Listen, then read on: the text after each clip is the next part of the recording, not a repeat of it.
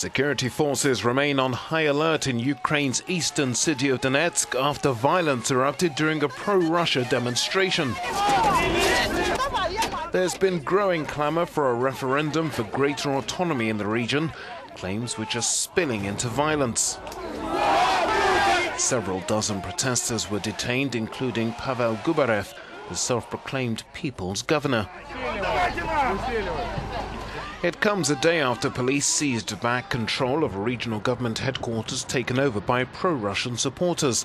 With tensions spiraling upwards, Ukraine has recalled some of its warships amid fears the crisis may not be settled diplomatically.